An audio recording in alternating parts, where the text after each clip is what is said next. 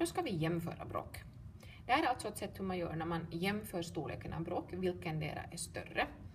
Eh, om du har en räknemaskin så då kan du räkna ut på räknemaskinen och jämföra decimalerna med varandra, vad är 2 dividerat med 7 och sen 1 dividerat med 3 och så jämför decimalerna med varandra. Men om man inte har en räknemaskin, hur ska man då jämföra två sjundedelar med en tredjedel, det vill säga vilken del är större? Jo, om de har samma nämnare så kan du ju se vilken del har större täljare, det vill säga hur många delar. Vilket är då det minsta gemensamma nämnaren, alltså den nämnare som det är lättast att förlänga båda till så att du kan jämföra dem med varandra. Det vill säga vilket är det första tal som finns både i sjuans tabell och i treans tabell. Och det är ju 21. Så att om vi gör både så att de har nämnaren 21 så då kan vi jämföra dem med varandra.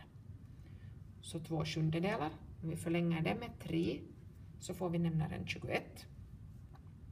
3 gånger 2 är 6 och 3 gånger 7 det är 21.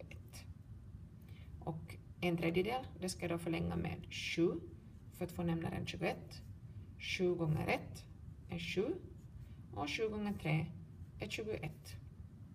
Nu kan vi se när båda har samma nämnare så går det ju lätt att jämföra dem med varandra. Den som har den hög, större täljaren, så det är ju det större talet.